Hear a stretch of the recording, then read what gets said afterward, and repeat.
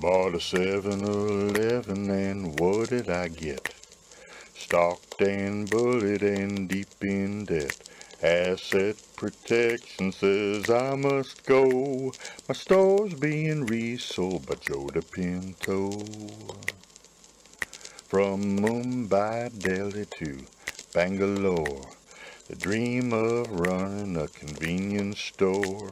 They pool their money and American dreams, selling ice cold Slurpees and magazines. I bought a 7-Eleven, and what did I get?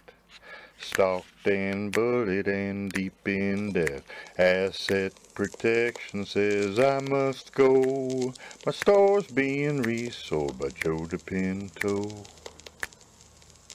Big brother is watching with cameras and more. He sees every corner of every store.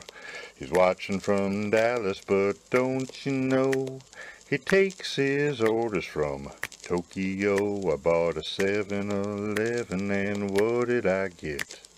Stalked and bullied and deep in debt. Asset protection says I must go. My store's being resold by Joe DePinto. If you see their lawyers better run and hide.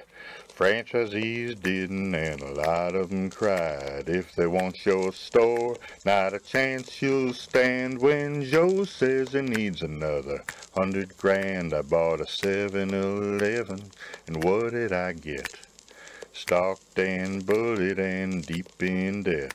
Asset protection says I must go.